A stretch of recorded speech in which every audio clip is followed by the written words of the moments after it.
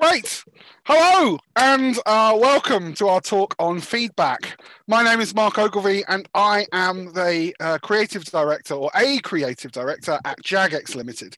Jagex is best known for making the popular MMORPG game RuneScape, which has just hit its 20 year anniversary and has made over $1 billion in revenue. And hello from me. My name is Laura Dilloway, and I am the lead environment artist at Roll7. Before that, I worked at the indie company Inkle and Sony's Guerrilla Cambridge Studios. I've been an environment artist for nearly 15 years, and I've been managing small teams and giving feedback for about 10 of those years. Uh, weirdly enough, me and Mark have never worked on any games together. We actually know each other from a completely different kind of entertainment, musical theatre, where we often look more like this or this. True, true indeed. Um, at Jagex, we treat feedback very seriously. In fact, it's very unlikely we would be where we are without it. Our, fa- our players are part of our development team, and if something is important to them, it's important to us too. Simply getting someone to play your game and asking how they feel about it, well, it's a really hard thing to do, right? We all worry on some level about what people think of us, but when you're creating something and you're putting it out there for judgment, it's somehow so much worse. Why? Why do we do this to ourselves? Feedback is emotional. Whether we're giving or receiving it, feedback leaves us feeling vulnerable. It's scary and it's so tempting to go out of our way to avoid it, but it shouldn't be like this. Feedback is a really brilliant thing, and helping to improve something can be hugely empowering. Learning not to be possessive over your work and to be open to feedback are probably some of the biggest challenges you will face in your career. This is absolutely a two way street, however. There are good and bad ways to give feedback in the same way that there are good and bad ways to receive feedback. The way that people treat you in either circumstance will leave a lasting impression, and it's only by working together that you'll gain the best results. So, tip number one feedback equals growth. Would you make a cake for somebody's birthday with ingredients that they didn't like? No, not deliberately. You'd try and find out what they did or didn't like. Now, imagine that you're the person receiving the cake and you really, really don't like it. If you pretend everything's fine and you don't say something, you might get the same cake next year. What if you could give feedback to the person who gave you the cake without hurting their feelings? Because that person just wanted you to have a really great birthday. That's what we're talking about. Game dev is kind of the same. It's a pretty bad business plan to set out to design a game that nobody will like, and making a sequel with the same issues would be a disaster. If I, as a lead, don't let my team know that their work isn't the right style, then the overall art direction of the game will suffer, in the same way that the reception of the whole game will suffer if we don't listen to players telling us that they're having a really bad time. To get yourself started on the right track, try and change your mindset. Feedback is scary, it is difficult, and it is hard, but if you embrace it, your game will be better and you will help improve things for everyone. And that's a really great thing to be a part of.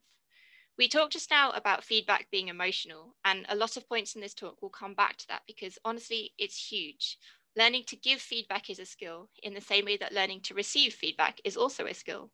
But it's important to remember that not everyone is at the same point on their personal journey towards being comfortable with feedback. This is one of the reasons why empathy between developers and players is vital. The more you learn about what drives the other, the greater your ability to collaborate and reach your goal. Working with people who deal well with feedback is a massive joy because it totally takes out the stress out of the situation for everyone involved. Our second tip is to ask why. Now, you'll find that when you ask for feedback, it might sound something like, oh, oh yeah, I really like that character, or that bit was a bit too hard, or you should add more monkeys, or something random. Uh, that sort of feedback has limited use.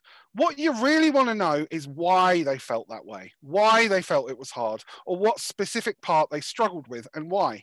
How many times did they fail? How did it make them feel? What are they comparing it to? What was it about the character that made them feel that way? Where importantly were the table flip moments where the player would have just stopped playing and why? Table flip is a phrase we use quite often in the games industry and is that angry moment where you would have turned the table over and your keyboard and your control pad on your mouse or whatever has flown all over the place.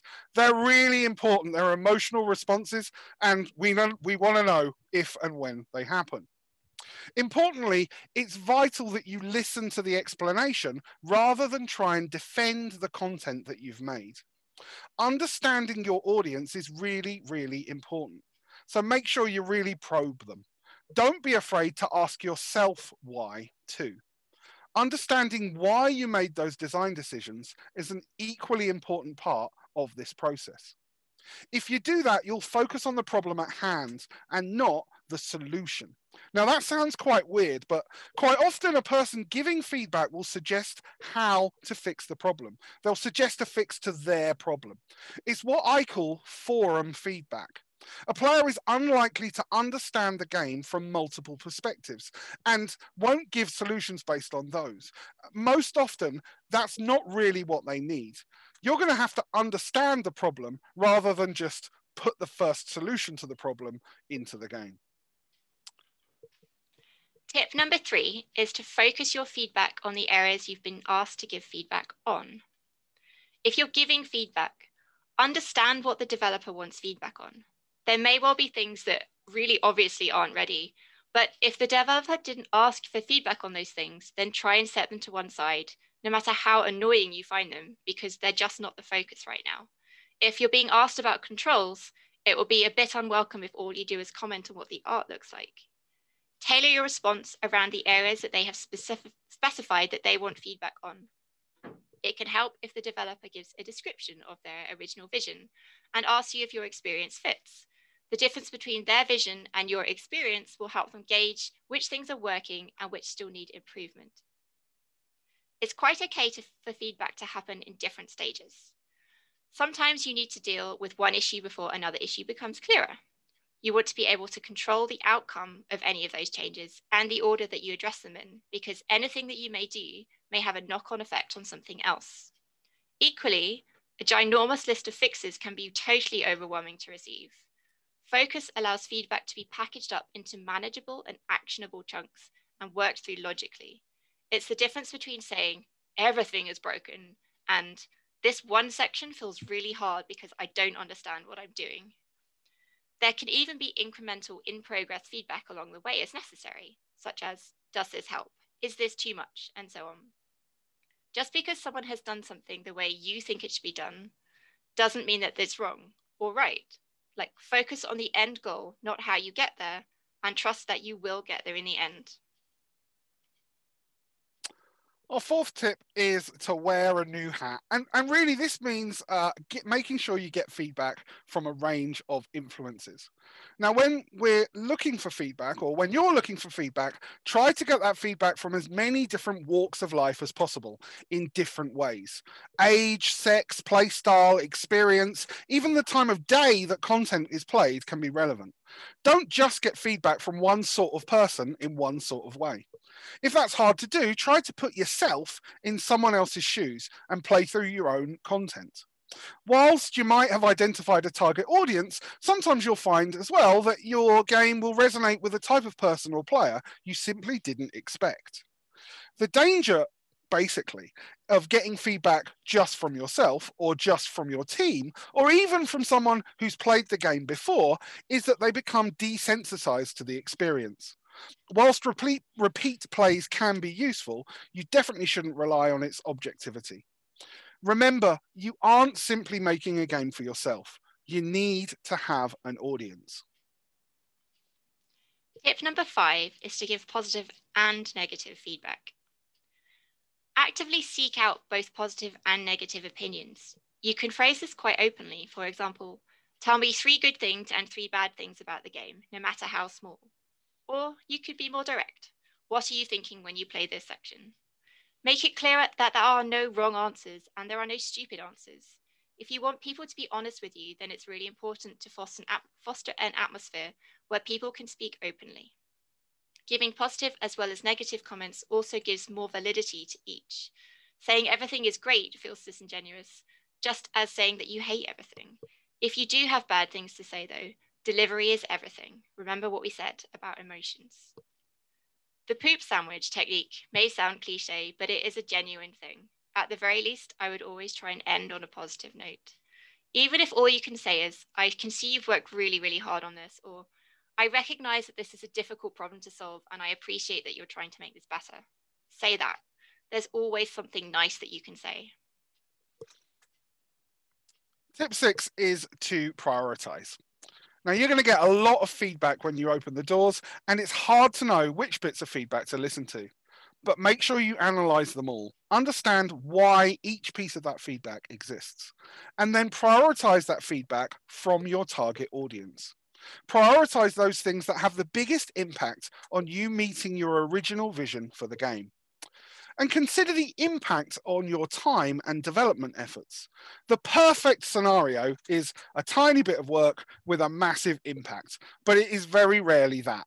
If something is huge to do, but it has the potential to fix a significant problem that every one of your reviewers experienced, it's probably worth doing. Don't just do the easy stuff you might end up implementing a whole load of feedback, but if the big problems are still there, it won't make much of a difference to the game's overall experience. Make sure you split up that feedback in different priority buckets and focus on the stuff that can really make a difference. As with all changes, once you might once you start listening to feedback, make sure that you keep referring back to your original vision for the game implementing changes can often change that vision. And if it does, and it can, make sure that you're doing it open eyed. Now, remember, and this is the hardest thing to do. Don't feel obliged to change everything that someone didn't like, especially if it compromises your original vision. Sometimes you've just got to stick to your guns. As a feedback giver, prioritize the feedback that meant the most to you. If it was an immediate table flip, make sure they know that. If it made you cry or laugh out loud, let them know. If it was something that you rushed to tell your mates at the pub, let them know that as well. Tip number seven is to edit. When you're giving feedback, write your notes as you play the game. Read through them again afterwards. Check that you're giving feedback on specifically the thing you were asked to give feedback on and in the form that it was asked for.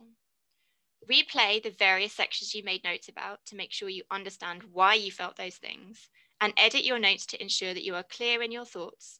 Sometimes you'll need to come back to something a few times, or even put the game down for a while and then come back to it refreshed before you're able to put your finger on the crux of what's bothering you. Try not to overthink what you've written or distill your reaction too much. As Mark says, the table flip moment is super important. If you feel very strongly about something, that's great be emotional about it. Emotion is really, really useful. Just remember not to be an ass about it. I hate jumping is not very helpful. I hate jumping. Why can't I jump very high? I can't see what surfaces are okay to jump on. Actually, is pretty useful. Prioritizing your responses can really help target which issues need to be dealt with first. For example, I think I could get used to the jump not being very high, but not being able to see where I can jump in the first place makes me want to give up if you've written a lot of negative things, don't forget to add something positive too. Lastly, remember that if your opinions on a topic were invited, they are relevant, no matter how small or inconsequential you think they may be. The developer might have a very different view and think something's really important. Be clear. Just having a good command of written communication goes a long way. Try not to waffle if you can help it. By trying to be overly nice about something, you can confuse the message and in the worst case scenario, people won't know how genuine your feedback actually is. So they may end up having to discard it and your voice, voice won't be heard at all. Tip eight, and this is the most important thing as far as I'm concerned in this entire presentation, and that is to get feedback as soon as possible. Get feedback when you can do something about it. This is the one area that I see most Games Jam projects fail on. And I, I, I can't I, I can't emphasize this more. Game developers, all game developers, nay, all human beings don't want to show people stuff that's unfinished. Humans will work right up to the last minute to perfect something they are really, really passionate about. And this is fundamentally wrong. I can't say this enough. Do not look for feedback when it's too late to do something about it.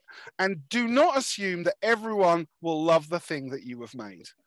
I always allow at least 25% of your total development time to implement feedback. And that is a minimum.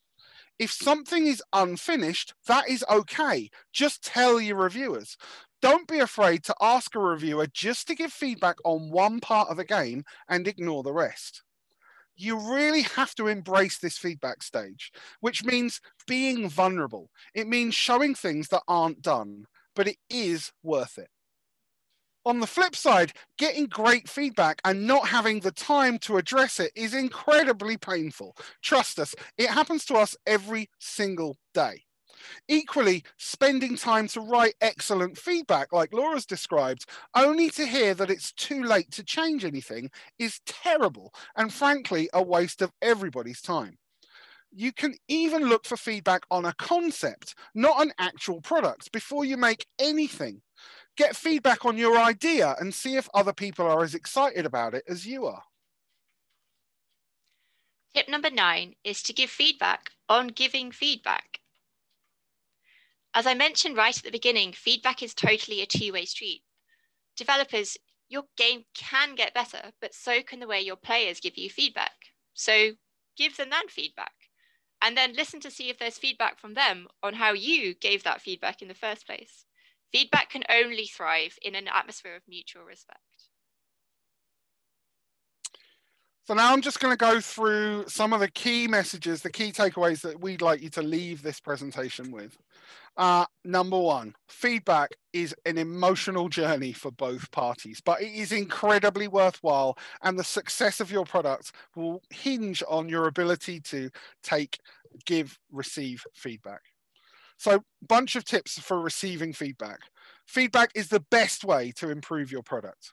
Make sure that you get feedback early as possible in development and get feedback from as many different sources as you can.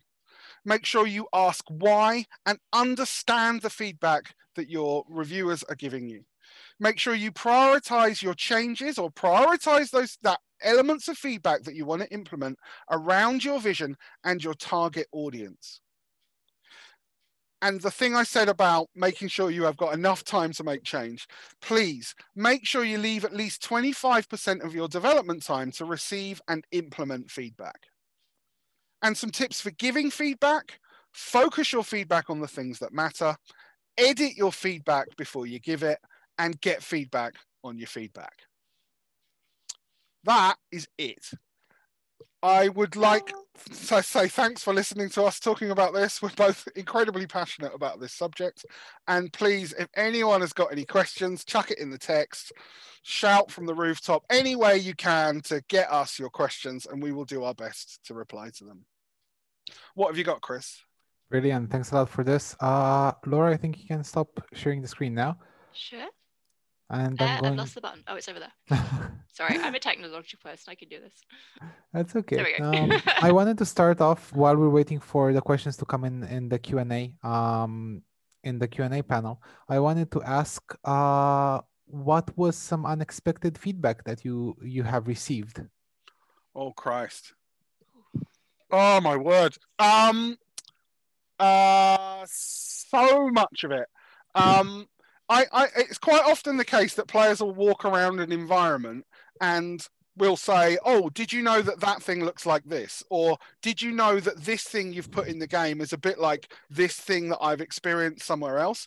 As games designers, there are so many different um, types of games or types of experiences or emotions or whatever. A player, any player can draw similarities between a thing that they have seen and something else that they have seen or experienced somewhere else. And sometimes there'll be things that are deliberate and planned by us, and sometimes they're in, in completely accidental. And we can we can then go, oh right, that thing's appeared somewhere else. Let's go and check it out. Let's make sure this whole thing isn't some horrible bit of plagiarism that looks like it's been stolen from another game. Or let's go and play that other thing and learn about the experiences they had or how they solved the problems or or challenges that we've got in this. So it's it's yeah, it's when a player identifies a connection between the thing you have made and something else and that is a connection that was unintentional undesigned and that often leads you down a rabbit hole to some amazing discoveries My uh, my feedback is normally to do with art things, so it'll be something. I think the weirdest one I noticed just this week actually was I was playing something and I was so distracted by a really cool thing that one of my team had put in the background that I couldn't play the game properly. so like it's just kind of one of my jobs is is managing those moments and making sure that um, you can you know we're not taking away from what the actual design of the game is by making it unplayable we're actually enhancing and and drawing focus to the areas that need focus drawn to them uh, rather than distracting and making people unable to play um, Fair enough. Yeah. One of the interesting things about having a live product is as soon as you have an update that goes live, uh, a game like RuneScape, you know, you've got millions or you know, hundreds of thousands, millions of people playing every month, uh, and um, you've got a new update that's gone into the game and even though you have tested the hell out of it even though you've got as much feedback as you possibly can uh, you've suddenly got hundreds of thousands millions of people looking at this and they're going to find bugs they're going to find things in different ways that you weren't expecting. The really interesting thing for me is when the lore hounds the people that fundamentally understand the fabric of your universe better than the people that wrote it in the first place will will suddenly go oh you've made reference to this character. Did you know that this character said this in this other quest. And now you're saying you know you now you've come up with something that contradicts this thing that you've said somewhere else. It's a bit like those crazy videos that you see or or like the, the episode of the simpsons where uh you know there's a crowd of people asking the itchy and scratchy voices what happened in episode x y z or whatever. So you've like you'll get a bunch of feedback that's like I never realized that that was the case. How? What the hell am I going to do about that? It's already live. It's live. It's out there in the real world. How am I going to respond to that? And uh, retconning is, is an interesting thing uh, when it comes to narrative design. And okay, how are we going to make sense of this story that we've just told that is completely at odds with this other thing that we told 20 years ago Mm. that none That's of us kind of hilarious. that, So, that- that is a um, crazy thing Ju- just in terms of uh, just in terms of uh, general terms, retconning is Oh, uh, right. Um, so sometimes you need to add narrative to justify other narrative that you've added in the game. So it's it's almost like okay, I have said that the clock is blue, but. F- 15 years ago, I said that the clock was red. So now I have to add something to the game that justifies how the clock changed from being red to blue. fair enough. Thanks a lot That's for that, that, that yeah, I, I, that's the most simple way I can describe it. So we have a question, uh, a question from uh, Delano. Um, when receiving comments on the game that mm, uh, uh, on the games you make, there are times where there isn't enough time to fix everything, and you get feedback for it. How does this affect the game designer? It's Uh, really demoralizing. Like to be honest, there's there's a bug in Heaven's Vault that uh, we never had time to fix, and we can't reproduce it. And I hate it. I hate it so much. Every time somebody brings it so much, I die a little bit inside because I know that there's nothing I can do, and none of us can do anything about it. And um, so, like, it's amazing that people take the time to give you that feedback, but when you can't do anything, it it just lives there, like this thing on your shoulder that's like you failed at something. like Uh, I would just say you have to be disciplined about it. Um, there is not an infinite time in the world to do an infinite number of things. You have to be disciplined. You have to prioritize the stuff that you think is going to make a difference. And uh, you have to consider how important those things are and how that impacts on the development time that you've got left. There is always going to be stuff left on the cutting room floor. There is always going to be features that you wanted to add. There's always going to be some little improvement. Oh, if only I could have just added that one extra line to that piece of dialogue. Or if, if only I could have like remodeled that asset that I added to the game there. And it, there, there is no such thing as a perfect product. And I would challenge anyone that says that that is the case. Every single developer, every, whether you're a designer or a tester or an artist, it doesn't matter. There is always going to be something that you feel is unfinished about that experience, and and and you just have to be disciplined enough to realize that. Um, games jams are particularly hard, right? When you've got a very, very limited amount of time to do something, you it's almost like you have to be super disciplined to do that. It's really interesting that, you know, I have veterans of the industry that would not do a weekend games jam because they find it so difficult to fit in, to be so disciplined and fit it into such a small amount of time. So, yeah, what the answer to your question is you will never learn how to deal with it truly there will always be something floating on your shoulder going i wish i could have done that thing. But the reality is that that is not that, that is not possible. And they will and it will always be the case and you just have to learn how to be disciplined about it how to structure your feedback how to prioritize and move on. The if i can just defend it the really interesting thing is like if you think about how games are delivered these days like you know pushing an update to steam is basically just putting a button. So releasing on steam you can add content like if people ask for something you can you know there's it's much easier to kind of get that added whereas on switch and playstation i think it's a lot harder to to kind of get an update to get the feedback for the things oh, yes. that people want and um, the other thing to consider like i know people rail about day one patches everyone hates day one patches but like when you master a game when you finish it for release, that's often like a month or six weeks before the game actually gets you. And in those six weeks, everyone is madly fixing all of the things that they really, really, really wanted to get to you. And that's what's in the day one patch. Like it's not like they they just didn't finish the game in time. This is all the we wanted to do this because it was going to make things better, but it wasn't absolutely vital for the game, or we had this feedback and we really, really wanted to give this to you. Those are all those things that are being added post launch because people had to prioritize and get the really, really big things done. And then all of these things that make your lives better. Like they had to they had to come second, but like people do work so hard to make sure that they do get to you in the end. Yeah. No, that's a really good point. And I think uh we also have a question from Eldred, and to to answer this, I'll give a bit of feed, uh, of uh, context. So on Tuesday, I mentioned that uh, a game uh, when a game releases, uh, no game actually releases uh, fully finished, right? Um, so what Eldred is asking is that it is one of the reasons why most games aren't finished because of the developers requesting for feedback, or is that partly the reason? is that hmm hmm Firstly, but, if I just say, it's really yeah, expensive to move launch dates. So, like, you plan to release a game on a certain date, and then particularly for large games that have large marketing budgets and and things like that, you know, they'll start their marketing campaigns like a year in advance. So if you suddenly go, I can't release in whatever date, looking at you, Cyberpunk, um, I, I need to release six months later. Like the monumental effort to make that happen is huge. So people can't really delay unless they have a lot of money and a lot of backing. And so then you end up having to squish your product into the time that is available to you. And that's the point at which you have to start making really harsh decisions about what is going to make it into that release and what isn't going to make it into that release. And also, how hard are you going to make your people work? Because crunch is bad, people don't crunch.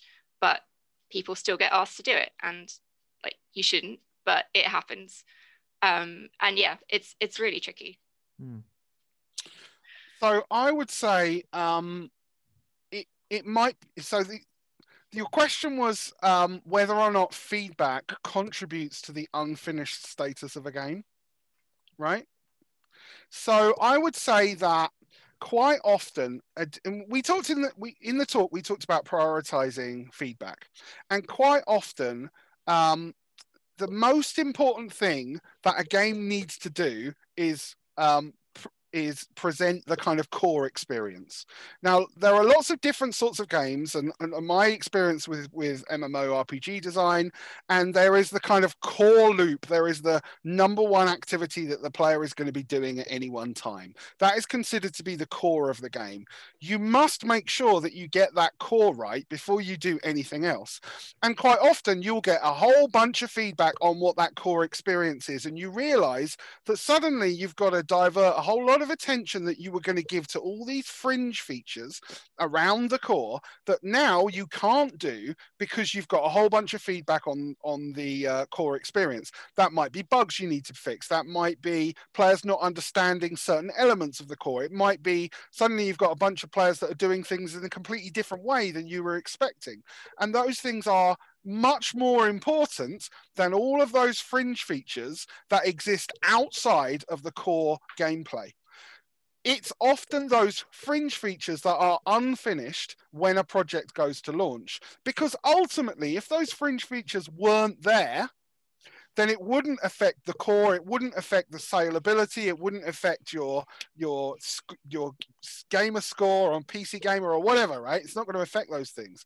They're important things to the experience but they're not important things to the core fundamentals of the game. And those are the things that would be unfinished. You might say to yourself well why not just cut those things from the game completely? But actually removing some of those fringe features might be even more expensive from a development perspective than finishing them in the first place. So they kind of hang around on the edges. They aren't quite right. Later updates will ensure that those things are you know function properly. They might have even crudely tried to remove them from the game but there'll still be mentions or references to systems that just simply don't exist. Um, that's the reality of the situation. Prioritize your core get your core right then make sure that you can spend attention on other those other features. But if you can't it shouldn't affect your release date really cool uh speaking uh, speaking of this i think this also answers the question from Peter, uh, who says, following around the feedback, you will have a list of things you want to proceed with and make changes to. What are some good ways of writing up or triaging that feedback? For example, a programmer is going to write notes very differently from an artist. And how do you balance all of those within the project producing timeline?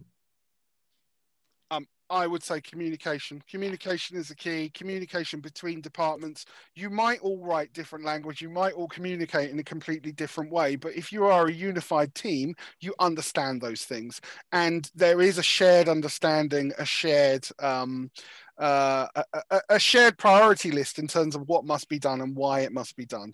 That is fundamentally the role of a producer when they're making sure that all those departments are kind of talking and communicating with each other and uh, like almost like as a central, uh, central conduit. Uh, if you're working in teams to make your games, give someone that role. Give someone that role, make sure that everybody else is communicating with each other and making sure that you have a shared ambition for what you're trying to do for the project and that the and that the priorities associated with that project are shared between everyone amongst the team. And on a basic level, like I said in the talk, just probe people, just ask questions. Like, you know, if somebody's written something in feedback that you don't understand, go back to that and just ask them more questions, like talk to them on a one to one basis find out exactly what they meant when they said something just like it's communication at the end of the day and you can dive as far into that into what they said as you want but it's all about just figuring out exactly what the problem issue is exactly what they had the issue with in the first place and sort of learning to remove the noise from what they're saying uh, and and get to right to the heart of the issue mm. I think uh, this also ties into another one of the another one of the questions that we have. Um, but first, I wanted to mention that that does that is the role of a producer, right? Within a that, that's within the remit of a, of a producer. When it, you look at what different job roles do, they are there to help help the developers prioritize the features and to say, well, I completely understand that you artist really care about i don't know the way that the skirt looks that and the fact that somebody caught on to the fact that it's not like a victorian era skirt it's like a georgian era skirt but it's more important that we fix the fact that the player falls through the floor. Um so or isn't wearing a skirt. Yeah yeah exactly.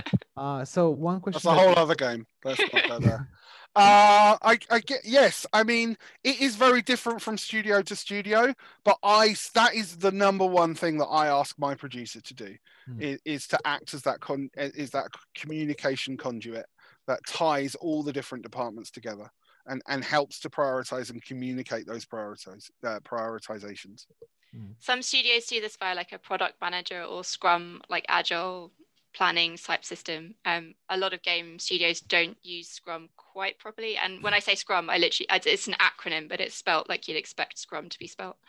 Um, and it's, yeah, it's about working in short periods of time and saying, I definitely want to get these things fixed and it's going to take this long and prioritizing what has to be done like in the immediate right now and then what goes in the weeks following that and goes what's in the like long term backlog of work that you have to do eventually so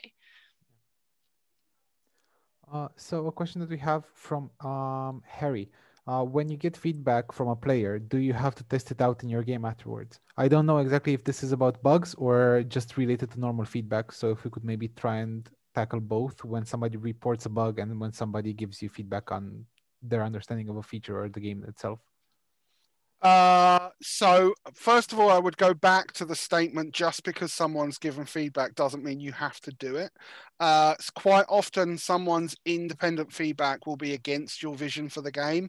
Constantly, I'll have players say to me, "You should give everyone a billion gold. You should give everyone a billion gold. Everyone should have all the money that they need to buy all the objects that they should ever need." Right? And and fundamentally, that would ruin a game economy. So you would never do something like that. But equally, you can understand why a lot of people would say something like that. Uh, or you should make this boss monster easier to kill so I can get a guaranteed loot drop at the end of it. Again, this is all like risk reward management, and you know, there's a whole world of things there and a whole bunch of reasons. But um, if you get a piece of feedback from a player and it and it makes sense to you, you understand why it's been delivered, that you believe it will make a positive change to your game, that the cost of making that change is worthwhile, then yeah, you would implement it. You would be, you would um, build it, and you would um, play around with that change. Um, there is a there is several loops that feedback will go through before it's represented to the player. Um, internally, we'll test things and test things out and have our own testing departments. There will be lots of people looking at that thing before it's back in front of the player's eyes. Um, but uh, in a kind of games jam environment, sometimes you have the ability to go, "Oh, I've just changed that thing you were talking about. Does this make a better? Does this make a difference?" And it's kind of like live in front of you, which is an amazing experience as a developer, being able to get that kind of instant gratification, or or even as a person giving feedback to see that change happen on the screen in front of you is an incredible experience. The other side of things is bug testing. So if I got a piece of feedback from a player that was like, this thing is broken, there are a bunch of different loops that that goes through. The first the first of which is something that Laura just touched on earlier is about reproduction steps uh, how did this bug happen? What were the actions that you went through in order for this bug to appear? If it's a niche bug, i.e., not something which is affecting like more than 10% of players or more than 1% of players, um, then uh, there might be a lot more complicated reproduction steps. So once we've understood the reproduction steps and understood the bug and what's happening, there will either be a problem from the design perspective or the way it's been coded or the relationship between a graphic and a piece of code or like uh, the relationship between two graphics clipping against each other all sorts of different things can happen. Um, so that is identified by the developer a fix is added. That fix is then tested by a QA probably the same QA who helped you identify the reproduction steps in the first place with any luck. Um, and then all of those things will happen and then it will go live into the game. And sometimes, even after all of that, the player will go back and go, now, mate, the bug's still there because because the steps that they went through they they didn't articulate well enough so that you ended up actually fixing an identical bug that happened that was produced in a completely different way. So even after all of that the bug might still be there. Uh, and yeah there you go. There's the answer to your question. Bugs are like a whole other thing as well because like some things that you think are a bug aren't necessarily a bug. They might be as designed. Like i've had some hilarious bugs in the past where a qa person has sent to me like oh the sun's in the wrong position. And i'm like no i'm not fixing this. It's in the right position because i put it there. Like so like yeah there's there's levels of feedback and there's definitely stuff that you can discard and say no i am right here and this isn't relevant and they go to die uh, but then there's you know we always look at them we always look at bug reports no matter how how big or small they are and again yeah they get prioritized in terms of what we need to fix and what we don't and mm. others like the sun Does that uh, does that do you think that answers the question, Chris? Yeah, yeah, I think it does. Uh, and do let us know if we have answered your question. I am going to um, mention that we are running short on time, so I will only go through questions that have to do with the with the topic of uh, this evening, which is feedback.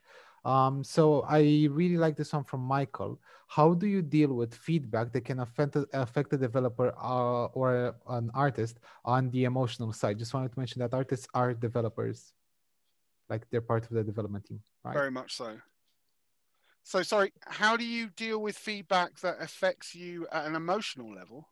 Yeah and i think like in general how do you deal emotionally with feedback as a developer?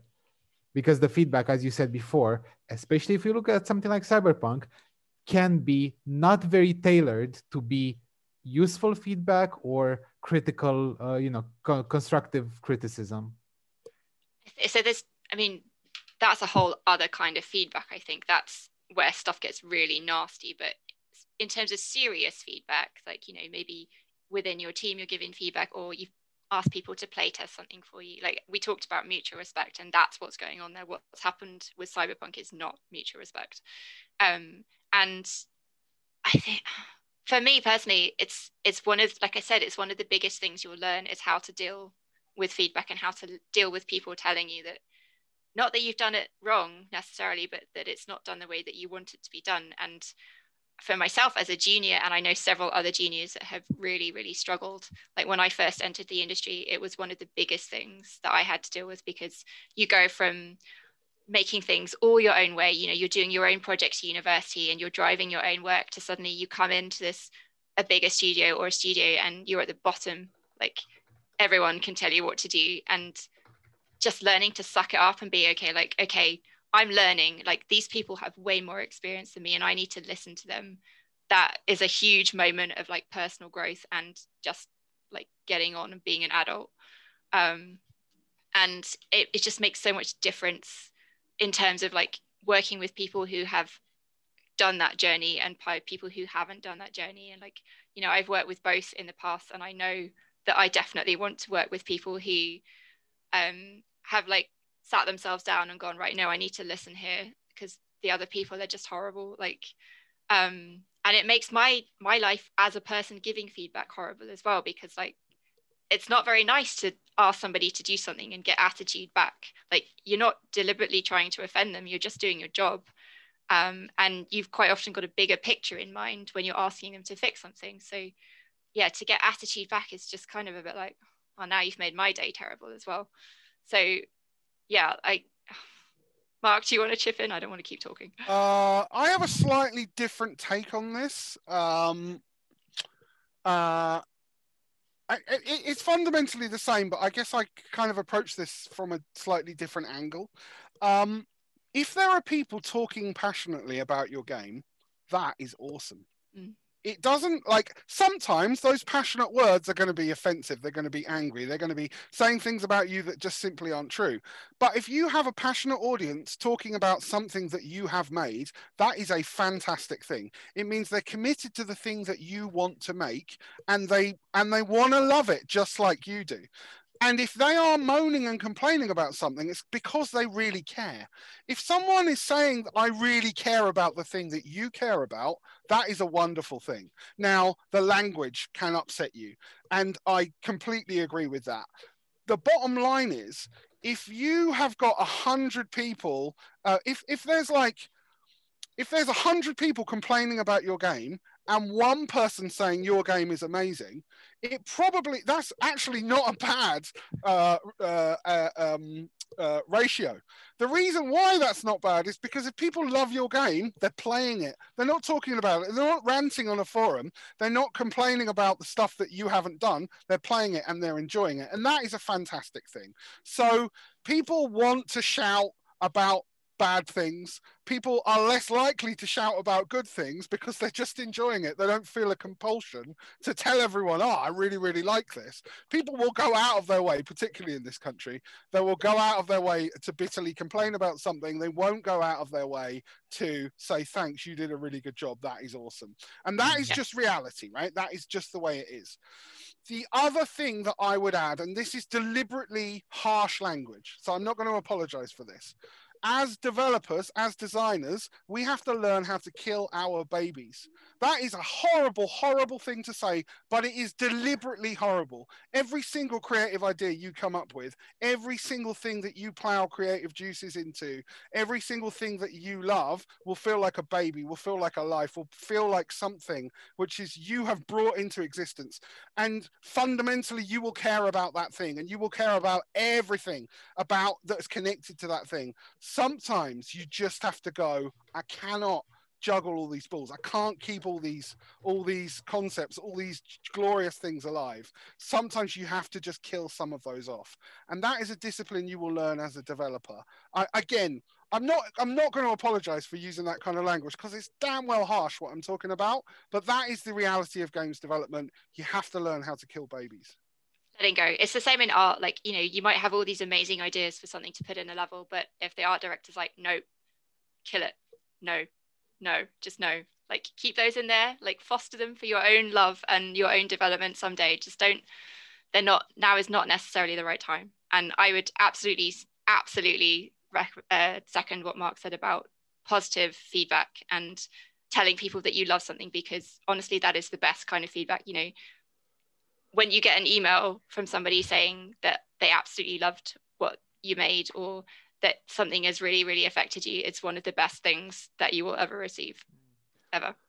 I, I did want to to chip in here uh, specifically around the positive fit, feedback bit because um, we are asking the people who are gonna take part in the story jam to publish their games on on itch.io which is a platform with a lot of very small games a lot of games which not which don't necessarily get a lot of players. Uh, and I feel like especially in that on that platform in that environment it's really important to leave feedback and to to mention things that you've liked about the games that you've played. Um, because those developers are going to be many times at the start of their careers just like just like the attendees. So as you mentioned laura um, that feedback can definitely make somebody's day. Um, yeah. One thing that i uh, that, that ties into this is from rupert uh, so they ask how do you recommend getting feedback for early games prototypes when you're not there in person uh, for example could you do it by publishing on itch with analytics or do you have any other any other thoughts or or ideas around that Um, there are various different platforms that you can use. Itch is a perfectly good example. I, uh, it's probably a bit of a secret, but um, I've used um, platforms like Kongregate in the past um, to just put in a tiny little idea um, just to get a feedback on it, a uh, bit of feedback on it. So it's kind of separate from the RuneScape loop, uh, so to speak. So we can sort of try out ideas and try out concepts on an audience that doesn't know it's anything to do with another game. Uh, basically, you send your reviewer a build. You send your reviewer the version of the game you've got and send it with a questionnaire, send it with a survey. Make sure you're asking the questions that you want to have answered. I would second that um, I, i've seen it done with prototypes like it doesn't even need to be on itch you could just send them the, the exe or the executable like and then a questionnaire saying like i want you like please focus on this thing and this thing and this thing. And that can be done via google forms works quite well. Um, the back end of that is actually uh, fairly well put together. You can see exactly what responses you get to different questions and compare them all. So that's kind of stuff. Once you've got it set up is really useful. Um, and yeah just question question stuff I, Some- there's you know we'll sorry chris no go on as I say, like, you know, everyone's kind of a bit more used to not being in person now, having been in a pandemic for nearly a year. So uh, I think a lot of people are getting far more used to speaking remotely. And, uh, you know, there's nothing to stop you interviewing people as well. I don't think if they're happy to be to be spoken to in person, like if you can get someone on a screen share and get them to talk to you while they're playing the game. So they give you their instantaneous reactions like you know if they make a noise while they're playing something or if they swear at something you can be like oh what what what made you do that like Mm. there's like I, I I've worked remotely for a number of years now, and this is something that we do all the time, and it works. It just works.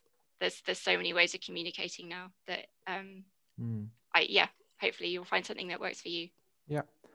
Uh, no, that was definitely a good answer. Uh, I just wanted to ask, I'm realizing that uh, we are a bit over time. Uh, do you have about 10 more minutes to go through the remaining questions Uh, or? Chris, we're talking about a subject that is deeply passion. I'm deeply passionate about and close to my heart. I'm not going to walk away while there were still questions flying around, Laura, unless, of course, it gets really close to eight o'clock and then I'm off.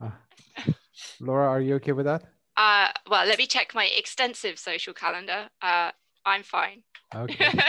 Uh, so we have uh, we have a question uh, from from Jez. You mentioned agile development and Scrum. Would you be able to elaborate a bit more on that for the people who haven't necessarily used it uh, before? I know it's a i- i- it's a big question, Mm. uh, but yeah, if you could un- unpack it a little bit and talk specifically about the planning of it, that That's a whole other talk. yeah. yeah i know we i did want to say that we are going to touch on this on on thursday when we have uh when we actually look into how a studio does narrative games Um, the, the quick answer is uh, break Google it. down your development into manageable chunks. okay and then structure each uh, chunk of time uh, and decide which of those manageable chunks you're going to work on. And then look at those things independently and move on from those things before you move on to the next manageable chunk. it's by it's kind of similar to something that we call time boxing. So like if I know I've got two weeks to before I need to submit something, I decide what I need to do in those two weeks and how long it will take. And you know, you could put stuff into like, well, this task is going to take me three days, and this task is going to take me a day, and this take is going this is going to take me half a day. And Scrum works on a similar principle in that you break things down into how long they're going to take and and how big a task they are. And if a task is going to take you like two weeks, break it down into small little tasks so that you can tick off those individual bits. And it's it's it's a skill actually, something that you learn in terms of predicting how long something's going to take you to do. And it may be that something you thought was going to be a half a day, once you start delving into it, is like a four day task. And that's fine. But that's you know, because you figured out how how long everything's going to take within your two week time frame, let's say, you could be like, right, well, this thing that I thought was half a day and is now four days means that I'm going to have to ditch some other stuff and Mm. put those into the thing I do next. And it's it's it's agile scheduling is what they call it. It's like moving things around to whatever is the most high priority at that moment in time. we are going to share some some resources about uh, about um, project management uh, for game jams with, with everybody who joins the jam so if you haven't yet i'm going to put a link on uh, on the chat so you can join uh, let me just grab that for you now let's go on to another question unless you wanted to say anything else about agile Definitely Okay. not. so um a question from uh, a, a question from uh, Judah. What uh, how do you handle uh, f- controversial feedback, such as the feedback that happened around the launch of, of The Last of Us 2? And have you ever needed to deal with anything like that? Uh, I'm not. Hmm. That's one of the greatest games I've ever played. Surely there's no controversial feedback about that. Um, how do you deal with controversial feedback? It Yeah. depends what it is. Like Yeah. I mean, for example, so uh, this goes back a long way now, but when the original Little Big Planet came out, it turned out that one of the music tracks that they'd used, and I think was either in an early release or in the trailer, actually had some words for the Quran in it, and the developers hadn't realized. And they got this feedback and they were like, oh my God, this is huge. And it was instantly remastered and they put out a fix for it. And so it really depends what the controversial feedback is. I think like if it's something really bad and it really needs working on, then people will do it. I think there's also a game recently that um, the, the characters were all wearing masks that were really reminiscent of um, like First Nations in Australia and places like that. And again, the developers hadn't done their research, which was kind of stupid. But you know, they got this feedback and it, it I think it tanked their game, like because their whole art style was based on these masks. And Ah, yes, I do remember that one. Yeah. I can't remember what it was called, but it was a it was a big thing. So yeah, I guess research like prevent the problem happening in the first place. But if you do get it, then it will look really bad if you don't do anything about it and you don't acknowledge it for sure. And one thing that I would So- I- sorry, go Sorry. Mark. Um, I think I understand what the question, what the person who posed the question is focusing on. So, Last of Us Two tried to do something very brave, and it changed a very uh masculine story into quite a feminine story. I think I would, uh, I would. I'd probably be as brave as to say that, and that meant that people who were the fan, who were super fans of the first game, just didn't relate well to the second product. Um, Last of Us consistently got scores of like over 90, over 95% on Metacritic um, when it came out. The actual games industry veterans, reviewers absolutely loved it. Um, but that is often very different to what to, to your audience from your previous game. Your audience from your previous game might not necessarily be your target audience for your new game. Um, that sometimes a games developer is trying to do things, they're trying deliberately to be controversial, they're trying to um, bring facets into their games that weren't there before. This is a super sensitive subject. Um, and I'm absolutely super proud uh, to be part of an industry where we're trying to do different things, where we're trying to bring games to different sorts of people, where you're trying to represent minorities or diversity or whatever. Um, you know, there- there is going to be a lot of people who loved the first game that suddenly there's like lesbian romance or whatever this, whatever that. Uh, there are a load and load of things that are going to be going on in that game that are just not part of their lives they can't relate to them. Game when you ga- gaming is about escapism, and if you're suddenly presenting a world or a tone or an experience that your user does not want to escape to, that is gonna generate some some some some feedback. It's gonna generate some um, controversial things. Naughty Dog absolutely 100% knew exactly what they were doing with that product. There is no way that they accidentally did what they did. There is very good reasons why they did everything they did, and you might argue that it was their intention to generate that kind of response. Um, that is all I'm going to say on the subject. Games developers continue continue to challenge the world. Hmm. Right, we are the modern storytellers. We are our stories will resonate for the next thousand years, and it is our responsibility and uh, our duty to try and change the world.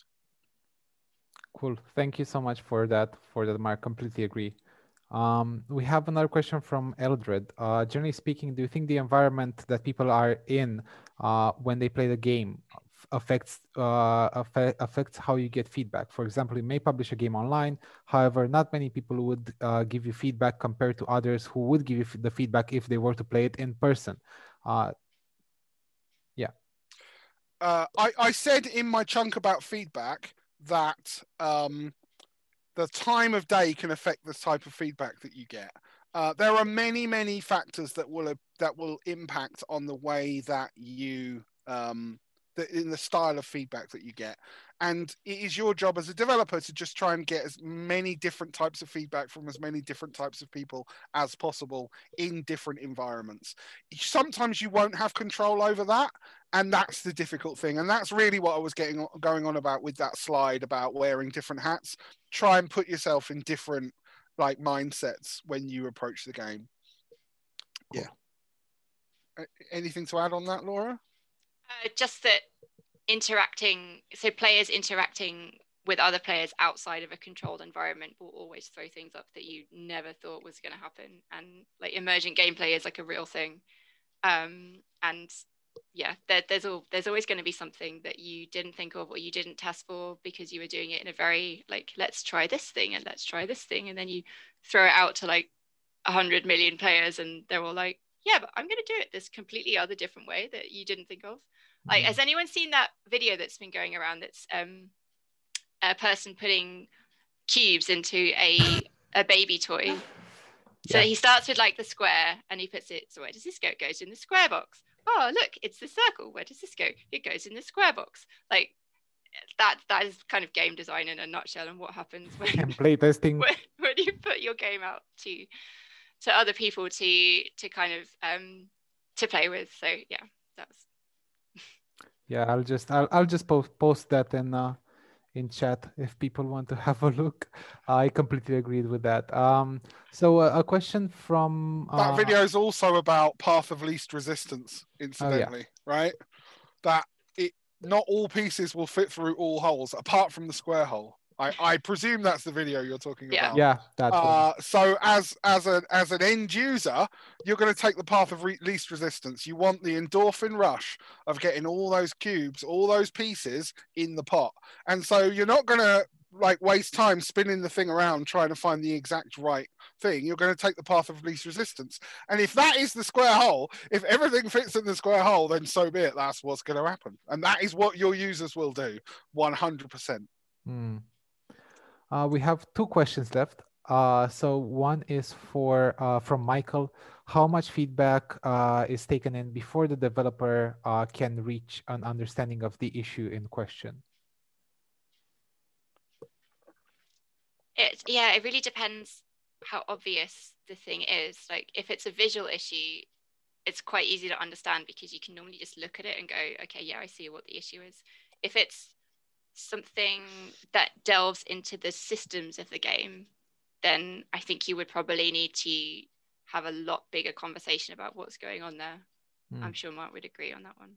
Yeah, um, it's different. Uh, you know, case by case basis, it's always going to be different.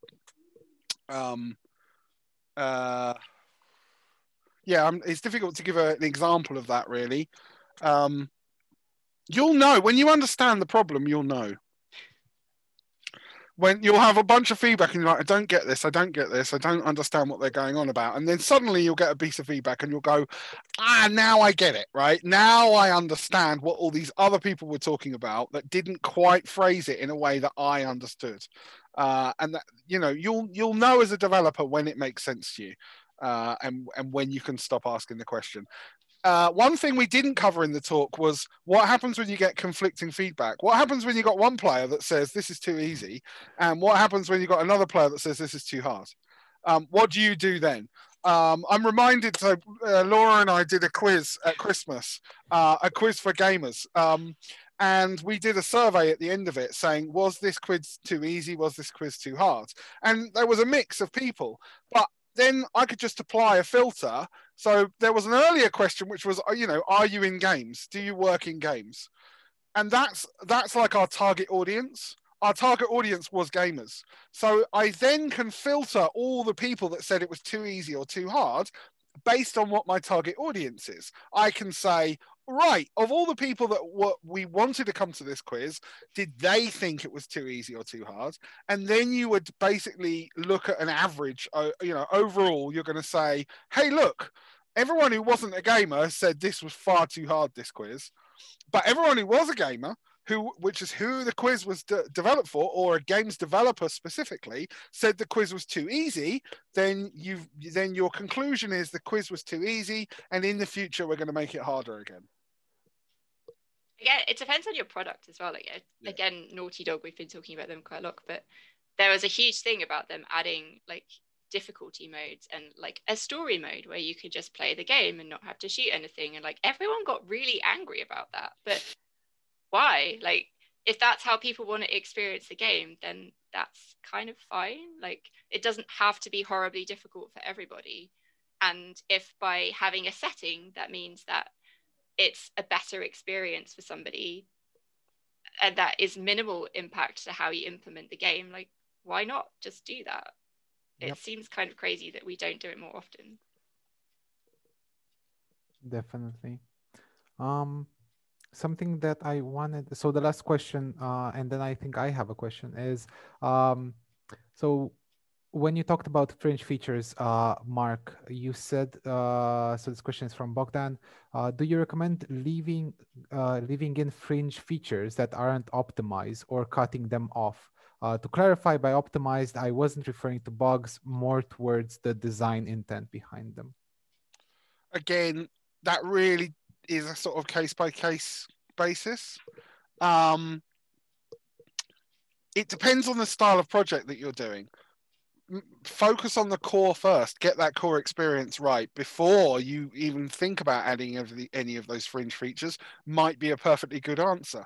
Um, in an MMORPG like what I make, uh, there are billions, billions of different core loops. There are billions. There, there's so many different things the player could be doing at any one time, and they all relate to each other. So one system can't exist with the other without the other system still being there, even though you might consider those systems to be fringe features. Um, it's really difficult. There is no good answer to that to that question. Um, my tendency is to leave the feature out until it's completely and until it's um, able to support the core in the right way. Um, but that's not always possible to do from a development perspective. Sometimes you need to build your game in a way that allows you to kind of plug in or plug out various different features. Um, that is possible to do. Uh, but I'm yeah, I'm sorry to say there is no good answer to your question.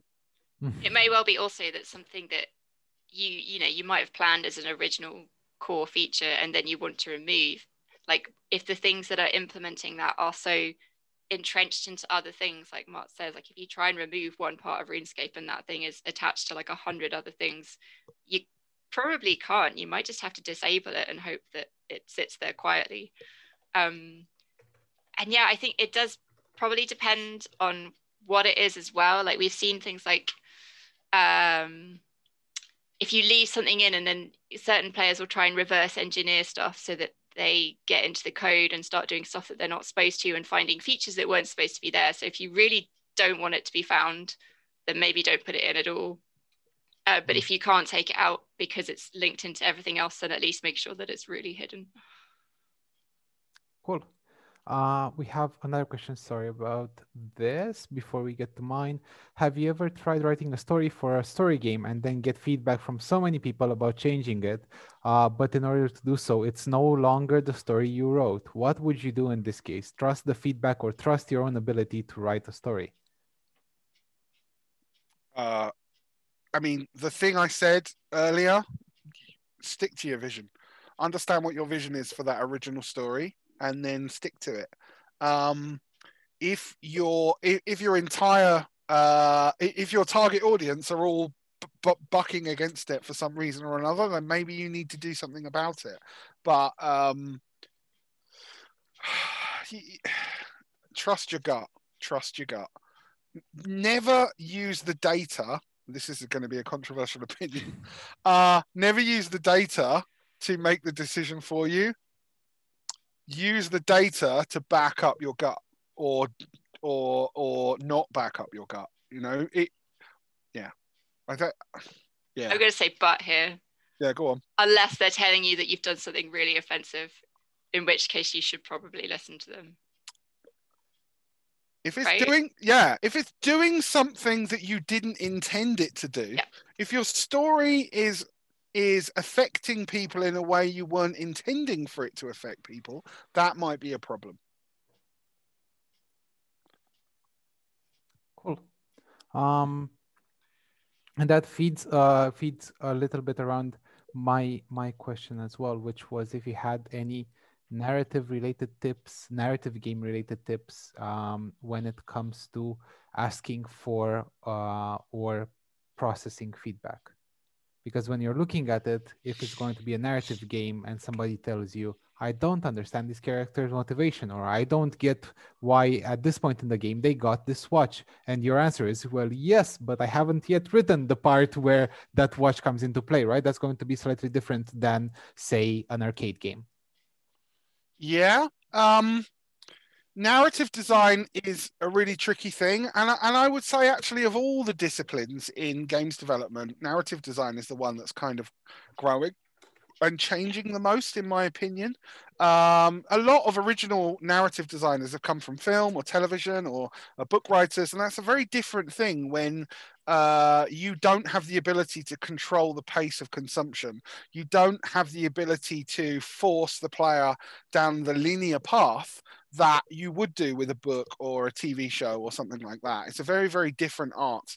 And I'd say only really in the last sort of 10 years have I felt like the concepts of a game narrative designer has felt fundamentally different from more traditional forms of entertainment. Um, certainly in the mainstream, I, w- I would say that to be the case. Um, however, that that's me rambling and not really answering your question, so I apologize. Um, what you can do is get is allow your player feedback in mid development to change your planning for what you're going to be doing in the future. And that's perfectly okay. So Laura described the idea of sprint planning, of like a scrum or working in, in these kind of short, discrete chunks of time. If you get a bunch of feedback that says, I didn't get this, I didn't understand this character, um, and, and that that is fundamentally uh, core to your experience, then you've got your 25% development time that I told you about earlier. You've got the time to make the changes. You can you can pivot, you can change, you can you can say, no, that is important. That is important to me. It is important to the story. I am prioritizing that piece of feedback and I'm going to make sure I do it and make those changes in the future. Just make sure you're referring back to your original vision when you do so. Actually, just going back to what Mark said about planning to plug things in, like if you have an overall structure of like this happens here, this happens here, this happens here. If you get feedback that says, I don't understand why that thing happened, but you've made it so you can plug story in there or in to support that statement or retcon it, as Mark was talking about earlier, like, you know, that has given you the opportunity to expand on something that needed more explanation. Or potentially, if something's too obvious, like you can remove the information as well. Um, yeah, as I mean, talking about how to craft stories and the, the different, I I came from the studio that worked with ink, so I will always say that ink is really amazing for that kind of thing. But it is also it is. I didn't come from that studio, and it is amazing for that sort of thing. We're uh, using uh, it for one of the kids, and I can attest it. Yeah. It's amazing. yeah. Um, I think ink is really good for doing that because you can do clever things like um, because it remembers what you've done every single time. You can say like, "Well, did this person already ask this question? Do they know this information? Have they been to this place?" And then you can surface dialogue based on whether they know those things or whether they've done those things. Um, whereas other stuff can, other programs, not that I've used them myself, this is just what I know from having worked at Inkle. Um, other things like Twine, I think, are slightly more linear. You can't box things quite so magically, I shall say. yeah. Um, I think it's always worth considering the journey of your player. Uh, now, in a linear environment, that's easier.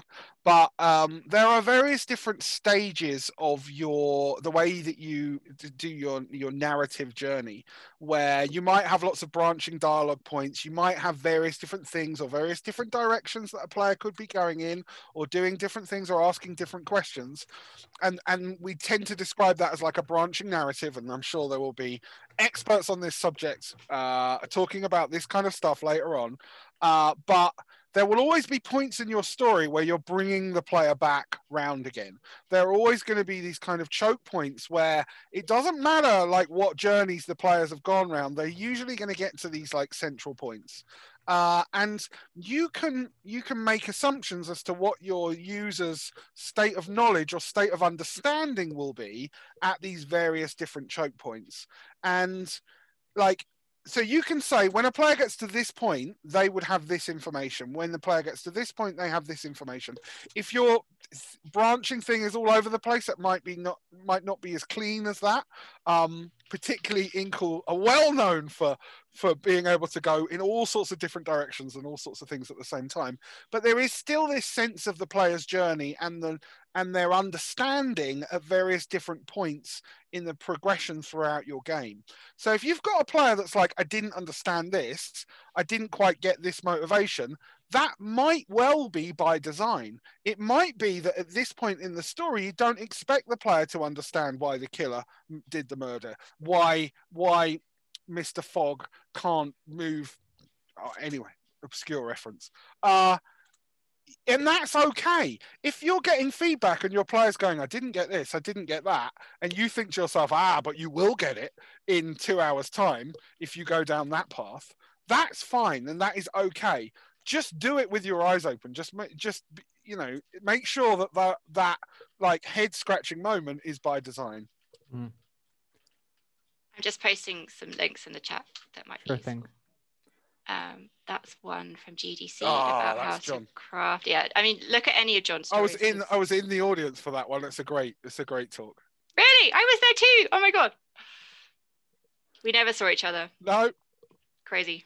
That's how big GDC is. Those rooms Oh. are dark. So what? What? The, the rooms are dark. Yeah, it's true. I And think we were I also think- right in the front row, going like, woo, woo, woo. Yeah, yeah. um, yeah. So the second talk, the first talk is uh, an important serious talk at an important serious conference, and the second talk is a important fun talk at an important fun conference. Um, and they're very different presenting styles, but Jon is an amazing speaker. I would recommend watching any of his talks. They're always very insightful and intelligent and really interesting to listen to I Um, second that. yeah so i think these will both be relevant to how to craft interesting stories in terms of like what what you're trying to say and how you're trying to say it and a little bit of how ink does it at the same Hmm. time Great. And one last thing that I wanted to mention before we wrap up is because you're make you're gonna be making narrative games, um, it's actually easy to ask for feedback. So in all four of the engines that we are using, there is going to be an option, uh, or maybe not in MakeCode Arcade, but in the other three, uh, there is going to be an option which is text field, uh, which through which you can ask people to give you feedback, and they will be able to to write it there, or you will be able to at least direct them to uh, a website where you have a Google form at the end of their experience, where they'll be able to write uh, to to answer pointed questions, and other than that you will uh you will have the comment section on on itch where people will most likely leave feedback for your game as well. So you will be able to get feedback from that uh too